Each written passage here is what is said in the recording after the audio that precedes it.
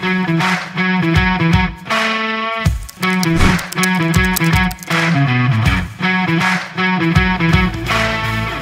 Ignacio, ¿cómo andas? Buen día. Gustavo, una gran alegría estar con vos. Ignacio, ¿cómo arrancamos el año? Es un año atípico en la última década. En la Escuela de Ejecutivos estamos aprovechando la oportunidad de esta postergación que hay en la demanda por las expectativas para hacer nuevos desarrollos de contenido e inversiones en tecnología para llegar al alumno. La escuela está innovando una vez más en, el asunto de hacer que el conocimiento esté donde el alumno se encuentra. Eh, nada más que ahora el alumno tiene la posibilidad de dedicar de distintas formas su tiempo al aprendizaje. Hay, hay un cambio importante en esto de lo que es aprender con la irrupción de, ya desde hace mucho, de las nuevas tecnologías el conocimiento es otra cosa, el conocimiento tiene más que ver con maneras de pensar que con información que uno tiene en la cabeza. Los negocios son un arte, vos lo sabes bien, no, no, no, no es una disciplina científica estrictamente hablando. Eh, la información está en todos lados, ahora irrumpe la, la inteligencia generativa, la inteligencia artificial. Hay que empezar a pensar de una manera distinta. Ya sabemos que lo verosímil no es verdadero y el gran desafío de la mente humana es distinguir cómo, antes te acordás de epistemología, cuando estudiábamos el asunto de la explicación científica y la verdad sí, sí, ha evolucionado de una manera impresionante. Entonces, lo que es la explicación razonable y lo que es la verdad es una cosa del sujeto. Y en negocios también se aplica, porque los negocios son arte, es una manera de aplicar una técnica. Este, entonces, bueno, lo que te quiero contar es que es un año donde por esto de no hay plata, que todos conocemos, y de esta transformación social que estamos atravesando, el tiempo para la educación es mínimo y se está postergando la, la, demanda de cursos. Entonces estamos aprovechando el momento para hacer contenidos y hacer desarrollos. Este es un año para invertir, en definitiva, crear el futuro. ¿El no hay plata también influye en la capacitación de posgrado, Ignacio? Nosotros sea, no tenemos posgrado, nosotros tenemos... Está este, bien, en la capacitación superior. Sí, eh, sí, te, te, te Déjame decirte esto, es específica, ni siquiera superior. Está porque, bien. De, este, ¿De negocios o ejecutivos? Claro, porque nosotros tenemos cursos para empresarios, emprendedores y los profesionales que vienen es porque les interesa tomar la óptica de los negocios. Entonces, hay un ámbito académico que es, es como la química y la cocina. Digamos, ningún cocinero podría cocinar si no existiese la química, pero ningún cocinero combina alimentos sabiendo de química. Combina alimentos y cocina muy bien. O sea, es como dos planos distintos. El plano académico es eso, un plano académico que da fundamento, que después cuando uno no sabe explica, que te ayuda a pensar más, pero los negocios son arte, no son un plano académico. Entonces, eh, el arte requiere tiempo, requiere práctica, requiere aprender del propio error, requiere aprender de los errores de los colegas.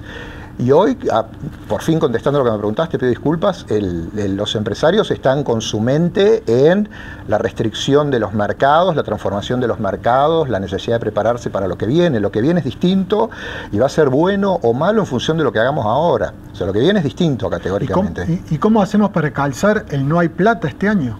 Eh, como siempre, eh, sacrificando lo menos importante. Cinco elementos tiene la vida el sexo para la reproducción, la comida para alimentarse, el agua para mantener el cuerpo y el aire para respirar. Si yo te digo no se puede todo, ¿cuál sacrificás? Y el menos perentorio. No hace falta que te explique, estamos grabando.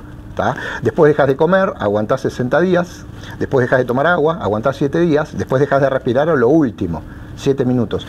Tengo otra para explicártelo. Estamos jugando a la generala salió mal la jugada. Tachame la doble es lo primero que vos Tachame decís. Entonces, ¿cómo se transcurren estos momentos?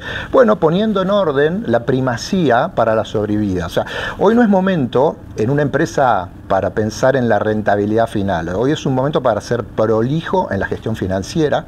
Es más que nada un momento para privilegiar el flujo privilegiar el flujo. Segundo momento, defender el capital de trabajo, porque esto va a pasar esto va a pasar y cuando pase tenés que tener con qué arrancar. Entonces, sacrificás el resultado de corto plazo, asegurás las finanzas, el flujo. ¿ta? Tercero, mantenés las inversiones, porque esto va a pasar y va a mejorar. Este es el momento. El que diga que el negocio está en el volumen o no sabe de negocios o te está mintiendo. Hoy es un momento distinto. Entonces lo que tenemos los humanos, como el hecho de la inteligencia que se habla tanto, realmente la inteligencia humana es la capacidad de adaptarnos a un entorno. El entorno es lo que él quiera, nosotros manejamos nuestra conducta. No nadamos en contra de una corriente, nos adaptamos a una corriente. Disculpa esto. ¿Y no sería más inteligente que hoy el empresario o el ejecutivo trate de capacitarse en un año complicado para lo que va a venir, para estar preparado de eso que vos me estás diciendo? Veamos qué es capacitarse. Eh, sí y no, sí y no. Seamos honestos, en este año, a pesar de que estamos en el dossier de capacitación, la capacitación lleva tiempo. Y además lleva dinero, lleva una inversión. Sí, una inversión importante. Entonces, es inteligente capacitarse y en función de el retorno que va a tener esa inversión, el valor que te da, y lo que te hace renegar.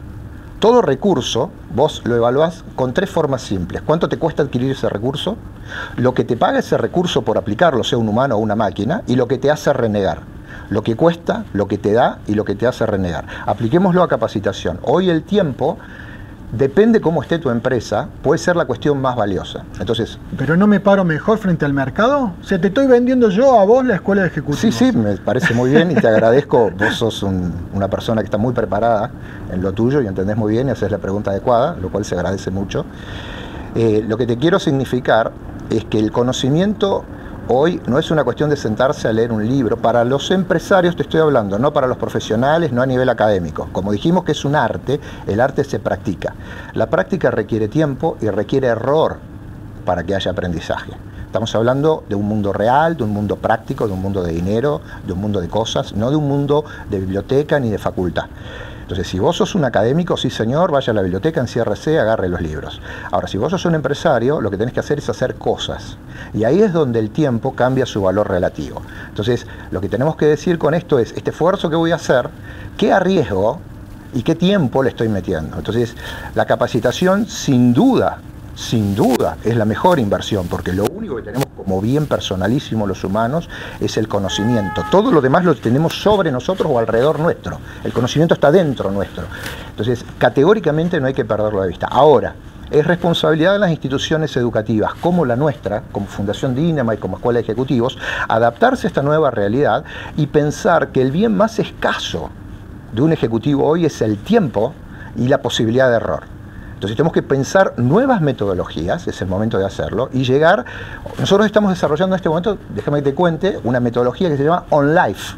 Presencial online, vos te acordás 2015 cuando nada hablaba de esto, nosotros ya hacíamos streaming. Todos decían es una locura, no se puede, nadie le va a gustar. Los profesores se resistían. Nosotros en 2015 ya habíamos implementado streaming. 2012 en realidad, 2015 fue cuando implementamos doble vía. Hoy a nadie se le ocurre ir a una clase. Nuestros alumnos van un día entre ocho para conocer cómo es el, sillón y el café que le damos, pero realmente no les interesa ir. Y ahora la otra particularidad es que el tiempo es barato cuando uno lo tiene ocioso y el tiempo es muy caro cuando uno tiene que hacer algo. Entonces, las instituciones educativas deberíamos pensar en, en esto que tanto se habla en otras disciplinas, de ser inmersivos. Es on life. Vos tenés 10 minutos ahora en tres minutos te puedo explicar algo, por ejemplo, que este, cómo se toma una decisión frente a un recurso. Y no necesito más tiempo. Vos me darás otra cuota de tu tiempo, tal vez hoy a la tarde, me das otros tres minutos y ahí tengo que... Vamos a llamar a eso cápsulas de conocimiento. Entonces es, como una especie de Twitter bien redactado y con mucho contenido, pero es una cápsula de pocos minutos cada en el tiempo que vos digas. Cada ocho horas cada ocho horas, ideal. La, gente real no es así, es cuando puede, no es cuando puede. Linda pregunta, te agradezco este espacio. ¿eh? Ignacio, la última. En una sola palabra, el desafío. Seguir creciendo, crecer. ¿Siempre? Crecer, crecer, crecer, desarrollar capacidad, invertir, ser mejores. Más arriba, más lejos, más alto mejor, más exclusivo para nuestros alumnos, más adecuado, crecer, siempre crecer. Desde que empezamos estamos.